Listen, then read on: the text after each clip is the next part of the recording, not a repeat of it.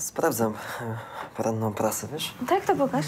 Co taka ciekawska jesteś? To jest naruszenie prywatności. Tak? No. No dobra. A wiesz co, teraz tak sobie pomyślałam, że... No. No może, co? No co prawda okres mam mieć dopiero jutro, ale może zrobilibyśmy test już dzisiaj? No ale po co, skoro mówisz, że jeszcze nie czas?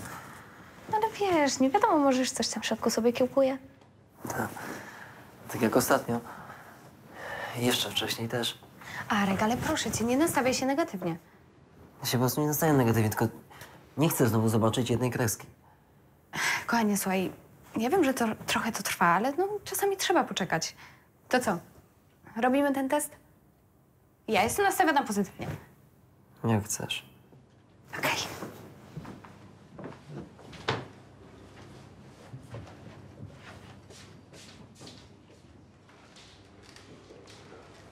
Jak?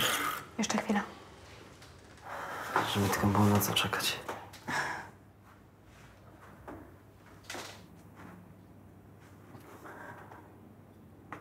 Przykro mi. Jedna.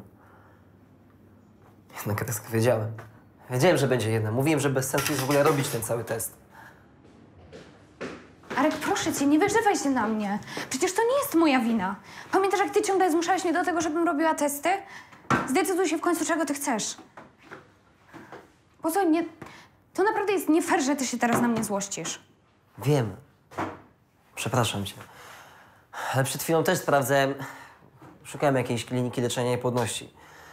Po prostu wydaje mi się, że muszę się przebadać.